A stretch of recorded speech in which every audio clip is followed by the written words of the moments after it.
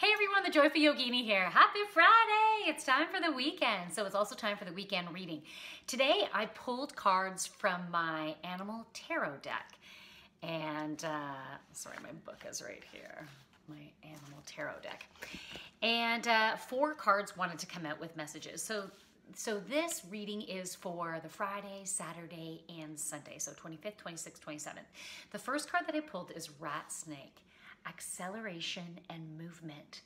So rat snakes, they they go after what they want and they achieve it. So this is a really great omen. Rat snake is like keep going after what you want.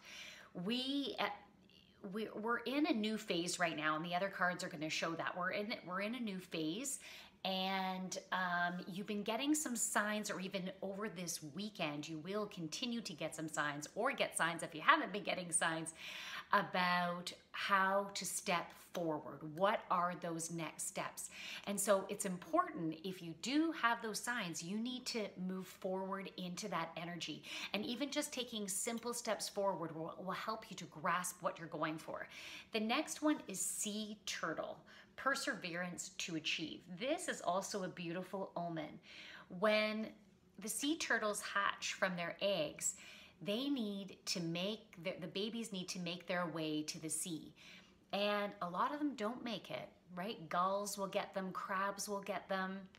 But this is saying that you are going to succeed. You are going to get to the sea and you are going to achieve your dreams. So this is wonderful confirmation that you are on the right path and, um, and keep, keep moving ahead. Now the next one is dove. I keep, because I looked at the cards before I started sharing them, I keep wanting to share what's coming next. so I keep up, hold it back, hold it back. Okay, so this next, um, the dove, the key message here is moving between cycles and worlds. This is the card to give you the message that you are in a new cycle and you have a new rhythm, and that's coming into the next card too. And dove is also uh, dove can be a message about love, uh, but truly about feminine energy. So the more you step into that feminine energy, we all have a feminine, feminine and masculine, a goddess or a god side. So this is stepping into our goddess, our feminine side. So being open to receive. So as opposed to, you know, even before COVID, we were in a place of go, go, go. Like, keep on going. You got to go faster. You don't deserve a break. And we need stress and anxiety to keep powering us forward. But that doesn't work anymore.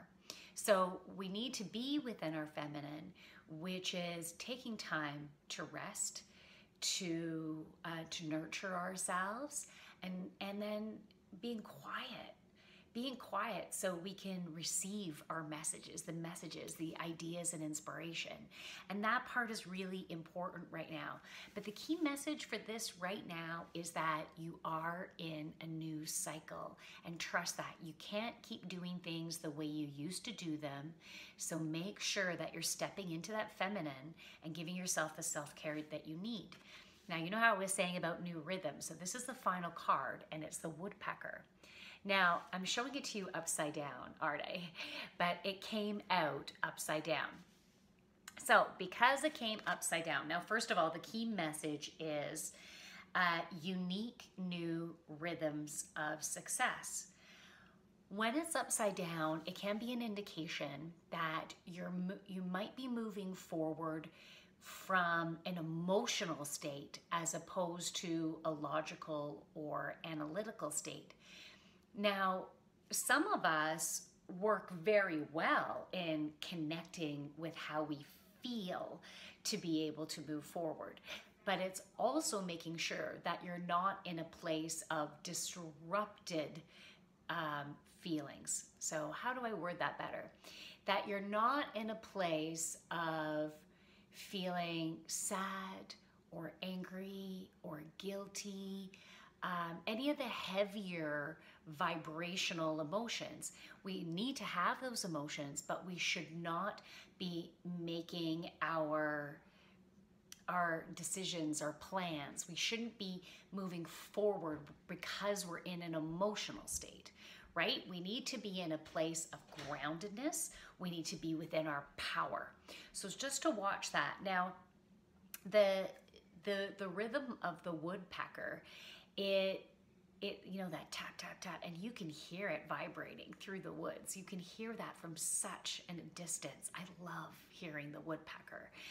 And when they they have those strong beaks and a really strong head like extra strong skull uh, structure to be able to handle that beating.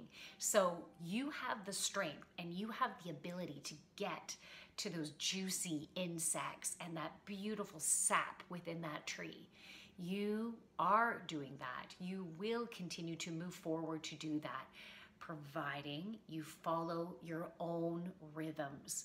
So listen to your body, and then sometimes it's not an appropriate time to make a decision. If you're in a place of, I don't know what I should do. I don't know how I should move forward. Then you should not be moving forward at that time. Don't force yourself to make a decision when you're in that space.